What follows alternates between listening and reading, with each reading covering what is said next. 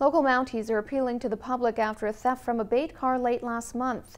On December 31st at 4.15 p.m., a male suspect entered a bait car parked off Domano Boulevard. To date, police have been unable to identify the suspect. He's described as a thin Caucasian male between 18 to 28 years old with short dark hair.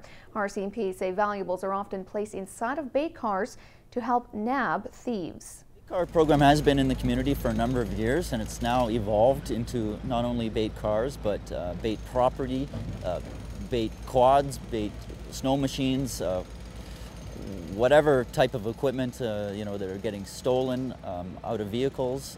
Uh, certainly we, we do use them. Um, we will put, like I said, bait property, whether it be a computer in a vehicle and, um, and, and bait the thieves into to that vehicle.